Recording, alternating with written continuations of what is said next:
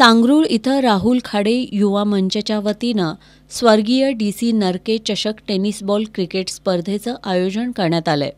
छत्रपती शिवाजी महाराज क्रीडांगणावर होणाऱ्या या स्पर्धेचं देवराज नरके यांच्या हस्ते उद्घाटन करण्यात आलं. यावेळी कुंभी कासारी साखर कारखान्याचे संचालक राहुल खाडे कुंभी बँकेचे संचालक प्रदीप नाळे सुशांत नाळे उपस्थित होते. या स्पर्धेत वीस संघांनी सहभाग घेतलाय. विजेत्या संघांना रोख रकमेसह चषक दिला जाणार आहे.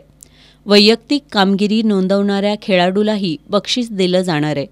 यावेळी महेश वातकर महादेव खाडे सरदार खाडे तौफिक मुल्ला संभाजी नाळे केरबा आळवेकर दत्तात्रय सुतार दिलीप खाडे कृष्णात खाडे यांच्यासह मंचाचे कार्यकर्ते आणि खेळाडू उपस्थित होते.